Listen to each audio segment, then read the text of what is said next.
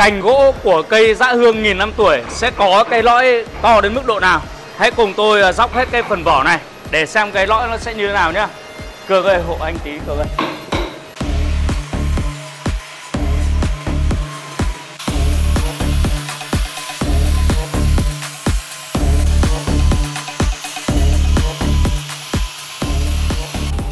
Quá trình mà anh thợ dùng cái cuốc để ờ, cuốc cái lớp vỏ ra thì ờ, một cái mùi hương rất là thơm ngát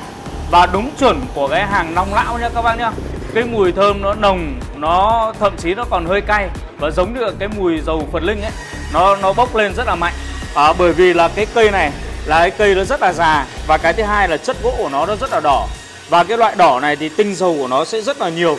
và cái hương thơm của nó sẽ rất là nồng à, nên khi mà đánh ra xong như này rồi thì cái lõi của cái cây này à, lõi của cái phần cành này hiện tại bây giờ nó sẽ được khoảng độ tầm à, 7 cm đường kính.